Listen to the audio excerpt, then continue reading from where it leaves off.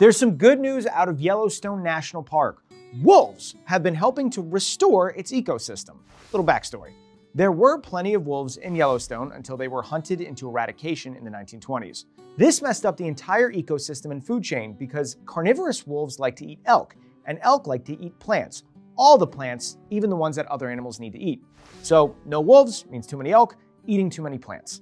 In 1995, biologists brought gray wolves back to the park to control the number of elk, and let me tell you, they did their job. A job with a specific name, a trophic cascade when predators like wolves indirectly affect the lower levels of the food chain, which means the wolves being reintroduced fix the elk's overpopulation and the plant's underpopulation.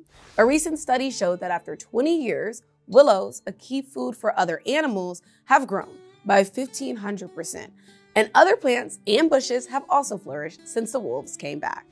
Shout out to the wolves.